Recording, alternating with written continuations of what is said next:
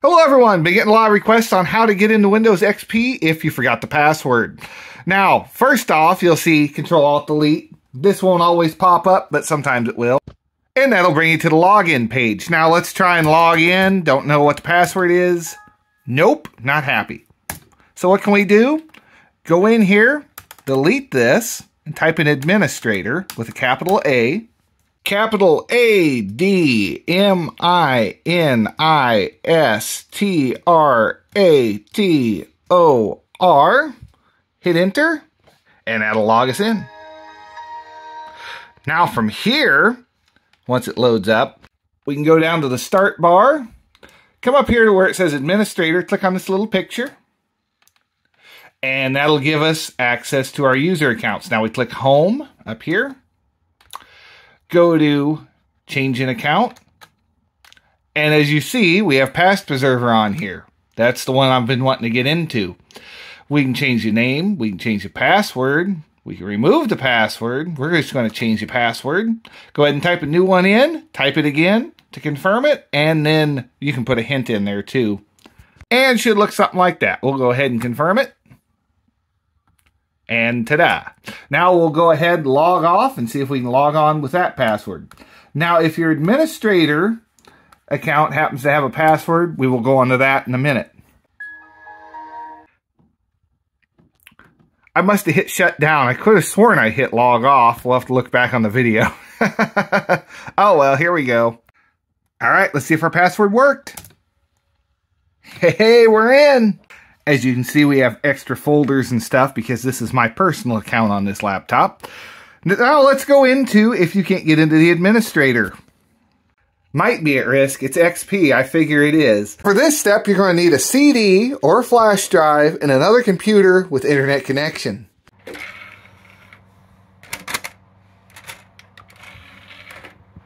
Whether you're going to flash drive or the CD route, we're going to need Live Boot Full. What you want to do is come to Google, type in Live Boot Full. I'll leave a link below.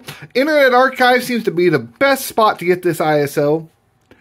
And here's what it looks like. We'll go scroll down and we want to download the ISO image right there. So click that, you'll start downloading. If you want to go the USB route, type in Rufus ISO to USB. There'll be a link below. And then you want to click on this Rufus Create U Bootable USB drive. We'll scroll down. And all I did was get the standard one, Windows x64. Go ahead and download that. And just like that, under our download tab, we have Live Boot Full and Rufus both downloaded. So what we want to do with Live Boot Full, if we have a CD in, is right click, go down to send to, and then we want to pick our DVD RW. And, well, I already have it on there with this, but it would normally burn all that information to a disk. As you can see, it's already on there. See the written file and then the unburned part of the disk. Now, if we're using Rufus, we're going to need a clean flash drive. We'll go ahead and open Rufus up. It'll probably ask, oh, do you want to? It's not safe. Yes, go ahead and use it. It's fine. Do you want it to check for updates? No, we shouldn't need updates for what we're doing. Okay, device. Let me plug this in. Oh, second try. I thought I had Linux on that flash drive. So select your flash drive.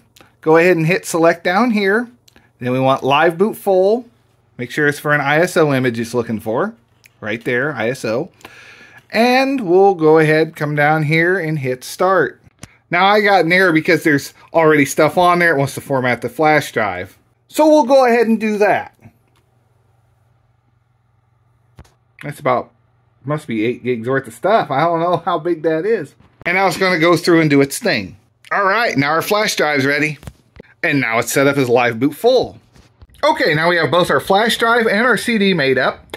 We're going to come to the back and plug in our flash drive right here. Let's see how many tries this takes. Hey, hey, first try. I better go buy a lotto ticket. Power on the Dell. And what really stinks is on a laptop, well, I guess any computer, you got to have the thing powered up to get your CD drive in. We'll go ahead and throw the CD in and we missed our mark. We're to have to reboot the computer now. Okay, now get ready, because as soon as you go start this computer, when you see the first splash screen, in one of these corners, it's to tell you what the boot button is. So it might take a couple tries to figure it out. And we have boot menu, F12. Now that we saw boot menu is F12, we're to hit the power button and just smash on F12 for a bit. And there we go. We have internal HHD. That would just boot us normally in the Windows. USB, CD, DVD, ROM drive. I guess we'll go ahead and try the USB drive out. Okay, press any key. Boot from USB.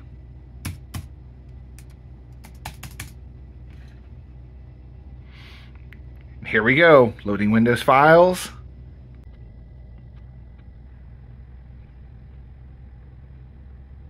That was about five minutes of dedication for that quick clip. Leave a like, hit subscribe. This can do a few different cool things. You can get data recovery, Windows recovery, disk management. But what we want is passwords and key finder. Go ahead and hit view details on that. We have admin password resetter.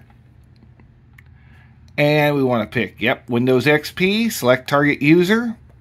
And it will give us a few different ones and we want to click administrator. And this will let us log into administrator with having no password below it. And then we can go in and mess with our users like we did at the beginning of the video. So rewind, rewatch that, and leave a like, hit subscribe for more. Because that's about all there is to this video. Go ahead and hit reset. Okay, are you sure? Yep. Are you sure you want to reset the password? Yep. It's reset to a blank slate.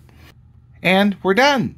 Go ahead, start, shut down, take out your flash drive or your CD drive, and go ahead and reboot the computer as normal. And you can do what we did at the beginning of the video. I ought to do another video on this about what all Live Boot can do, but that'll do it for this. Go ahead and start, shut down. Take out our USB drive reboot, start Windows normally,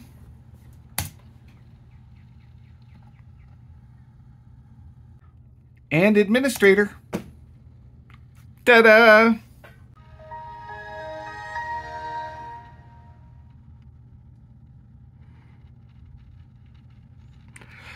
Now, like I said at the beginning of the video, start, click your little icon here,